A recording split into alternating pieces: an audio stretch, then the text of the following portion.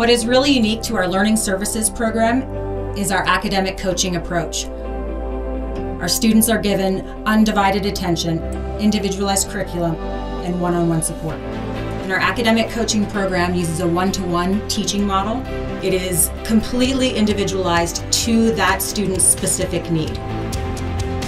With academic coaching, we strive to build a positive community of learners that are recognized, acknowledged, and appreciated for those unique learning skills.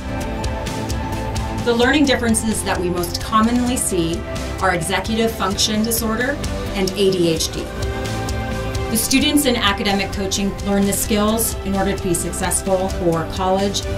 Once they enroll in our program, they are on the path to owning their learning.